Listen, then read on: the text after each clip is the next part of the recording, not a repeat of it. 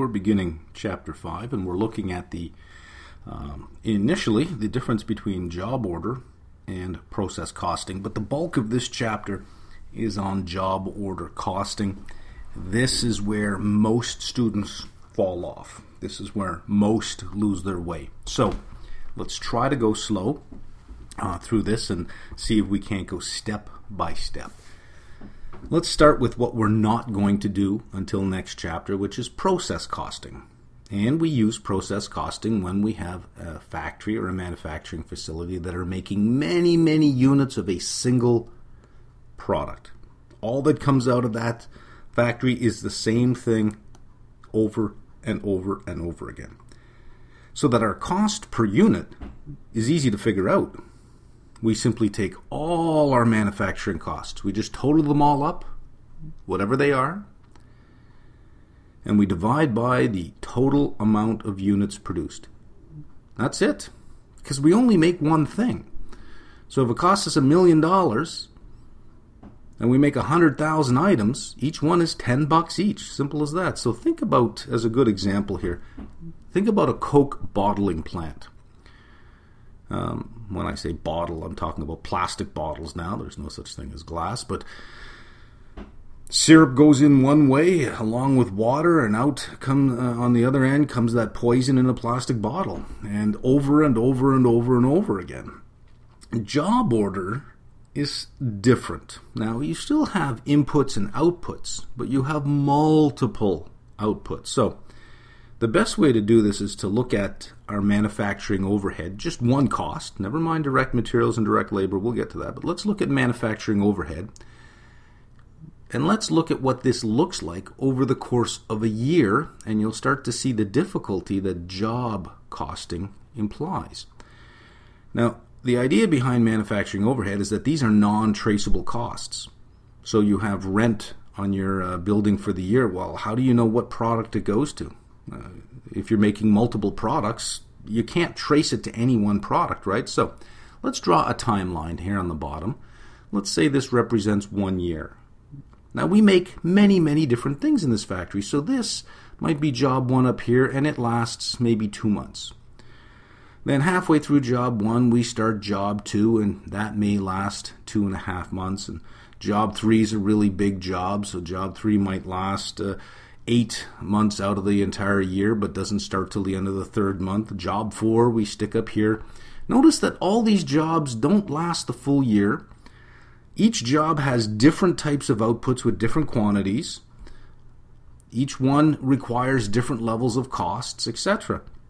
So, the big question when you have this is at the end of the year, all of that manufacturing overhead that you have well, how do you apply it to all the units? Let's say job one produced only one thing, a big unit, whereas job two produced a whole bunch of small little pieces and produced a million units. Well, you can't apply it per unit now. You have to apply it per job. But how do you apportion manufacturing overhead to those jobs? Look at job one is quick, job five takes a long time. Well, direct materials, direct labor, that's easy right? Those are traceable. So we can trace those to the job. So if the three manufacturing costs, direct material and direct labor, can be traced to the job, our big problem is what do we do with manufacturing overhead? How do we get that into those jobs? We can think of furniture manufacturing.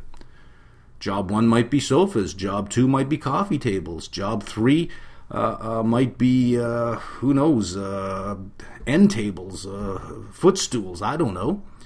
We can think of law firms. Every case is different. Some are quick, some take years. You can think of vehicle repair. I bring mine in, I want an oil change. You bring yours in, you want a new transmission. Different things, right? So that's the problem we're going to try to solve. So let's see if we can sort of start looking at how costs flow through a system. And when we figure out how they flow through a system, it gives us a better idea of how to solve that manufacturing overhead. So we'll start with the two really easy ones direct material direct labor, and we'll stick manufacturing overhead way over here. Now, the idea behind direct materials and direct labor is they are traceable to the project or to the job that you're working on. We can trace direct materials through something called the materials requisition form. And this is in your computer system, in the computerized accounting system that firms use. There'll be a screen that allows them to enter the materials that are being used on a particular job. So the screen uh, will probably, I'm not drawing a form, I'm just drawing a what the screen might look like here. You might have your job number at the top and then a bunch of lines where you enter in the item that you're taking and there'll be a cost. You enter in the next item number, and the computer will generate a cost for what that is, and that'll all sum up. Once that's done, once we know what our direct materials are, this form gets added as part of a bigger form called the job cost sheet. So we can track the direct materials. If I take a, a couple of car seats, I know they're going into a particular car.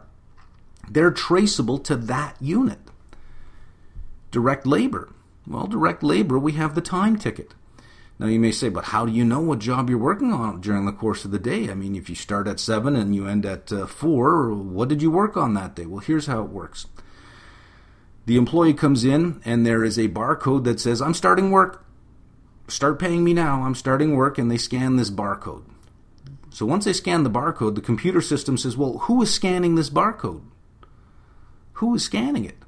And so the employee grabs his ID badge and scans the barcode on his or her ID badge. So the computer says, Great, you're starting, you're John Smith. What are you going to work on right now? So the employee then takes the barcode scanner and scans the barcode for the particular job that they're going to be working on. So this is a triple barcode scan. You scan to sign in, you scan your badge to say it's me and I'm going to be working on this particular job. So at the end of the day, and I'm just going to do it for one day, what it would look like for J. Smith, is the computer would record that you started. Also, would record your end time. We'll we'll scan out when we're done this video. You'll see what that looks like. Records the amount of time you spent, the rate that you get paid, the total amount for that period of time, and the job number that it applies to. So let's just go ahead and fill in a timesheet for a particular day and see what happens and how why we call this a traceable cost. Now, not all of this will be direct, watch. Let's say we start at 7 and we end at 12. We spent 5 hours. We get paid $15 per hour. There's 75 bucks and that'll be applied to job 2B47. There we go. So we know that 2B47 had $75 of direct labor. We take a half hour lunch. We come back at 12:30 till 2:30 for 2 hours at $15 an hour, 30 bucks, but this time we worked on job 2B50 because we scanned in. The computer recognizes the barcodes. Then at 2:30 we scanned out and we scanned into another job. 2:30 to 3:30 we worked 1 hour at $15. We get so that's $15 judge. And we just did general maintenance at this point in time. Now look what happens here. Let's add this up. We have eight hours and $120. But this is how it breaks down. Seven of those hours are considered direct labor. One of those hours is considered indirect labor because it was for maintenance, right? It's indirect labor. So only seven hours of direct labor. So the 120 breaks down like this $75 of it will get charged to job 2B47 because it can be traced to that job. $30 of it gets charged to job 2B50 because it can be traced to that job. And one hour gets charged to manufacturing overhead, 15 bucks, because it cannot be traced to any one job. It's for overhead. And then this, all of this, gets transferred to the job cost sheet. So the job cost sheet on a day to day basis tracks all the cumulative direct material, direct labor on that job cost sheet. And we're going to see what we do with manufacturing overhead here. That's still a big question mark. Because most of it is indirect, as we've shown with labor, that one hour, that $15 for maintenance, can, you can't trace it to any one project, but that maintenance might have cleaned up or fixed machines that work on multiple projects, right? It is non traceable. And if you can't trace it to a job, you have to assign it as overhead.